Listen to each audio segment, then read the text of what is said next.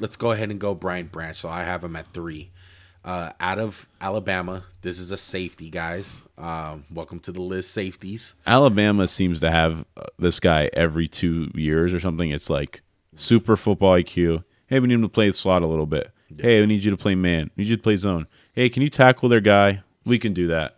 this is Aminka, Xavier McKinney, Darian Thom- Thompson when he was there, Deionte Thompson. Yeah. They always get this. They always get these guys in Bama. Six foot, 193. Some of the pros for him, hard hitter. I think he's the hardest hitter in this draft. Um, harder than Devon Witherspoon. Oh, I don't know. I don't know. Look, just because Devon Witherspoon closes that speed and it looks big, I think you're filling in a little bit more from Brian Branch because he's a little bit bigger. Uh, I put right here, he, he's like a fucking spider monkey, man. Like he is fucking everywhere, dog. He is everywhere, and anticipation like crazy. Like he sees stuff before it happens. He is on go all the time. Uh, I'm gonna give out my comp right here just because I think it fits him so well. He's a bigger Budda Baker. Like he plays like Budda Baker. One thing that I have a con with that I think a lot of teams are gonna wind up, you know, fucking him over on.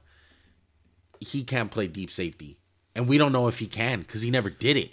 Like I'm gonna go with no. He can't play it. That's why he's a four. so my comp, just so you know, is rich man Xavier McKinney, poor man's Minkah. I don't think he's anywhere So- close to Minkah. I'm That's sorry. why he's poor man's. That's why he's poor man's. So he ran a four five eight, and I'm not always the guy who's like forty. He can't. He's not fast. There's a reason they were like. I put in my notes. He's not Earl Thomas.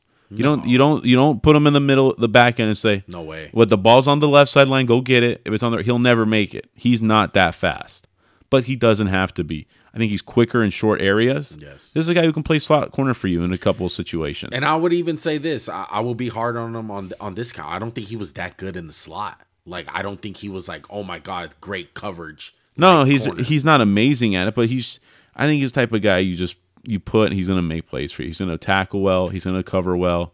He's gonna like he to me when he's playing zone, he really feels it out. He's like, Oh, I see this guy. Oh, I got him. I got him. He like knows where everything's happening. He has no weakness to me, but he doesn't have anything I'm like, holy shit. I've never seen a safety tackle like I've never seen a safety that good in coverage. He's a jack of all trades, master of none.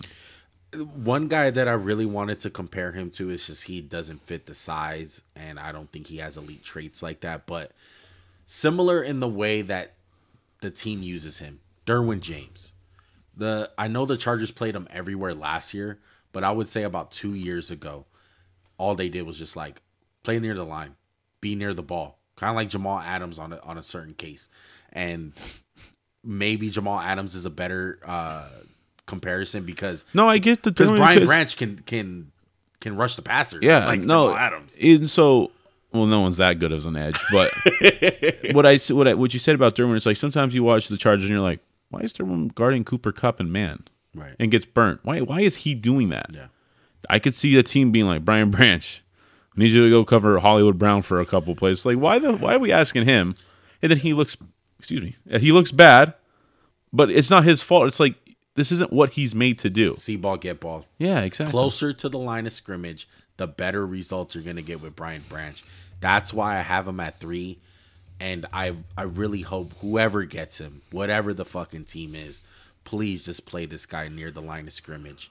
Don't play him in like your Kam Chancellor guy, like covering sometimes on the outside. Like I want him literally as like a fucking linebacker.